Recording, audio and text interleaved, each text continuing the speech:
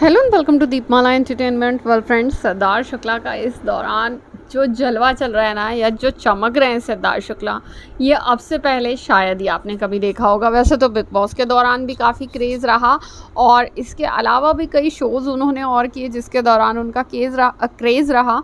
लेकिन triple B three ने भाई उनका जो नाम चमकाया है ना, क्योंकि ऑब्वियसली काम इतना अच्छा था और अगस्त राव का जो कैरेक्टर था, वो इतना दमदार था जो कि सरदार शुक्ला ने प्रेजेंट किया। अब भाई आप देख सकते हैं, जैसे कि हम रोज़ आपको कुछ ना कुछ बता रहे हैं। रोज़ सिद्धार्थ शुक्ला किसी ना किसी लैंग्वेज के न्यूज़पेपर की फ्रंट पेज पर आ रहे हैं। जी हाँ जिस तरह से आप इस medium of expression and Siddharth Shukla made O T T debut इस तरह से लिखा हुआ है। तो ये गुजराती न्यूज़पेपर हम आपको बता रहे हैं। इस पर भी फ्रंट पेपर पेज पर जो है सिद्धार्थ शुक्ला नज़र आए। पंजाबी न्यूज़पेपर में आप देख लीजिए उसके फ्रंट पेज पर भी सिद्धार्थ शुक्ला थे।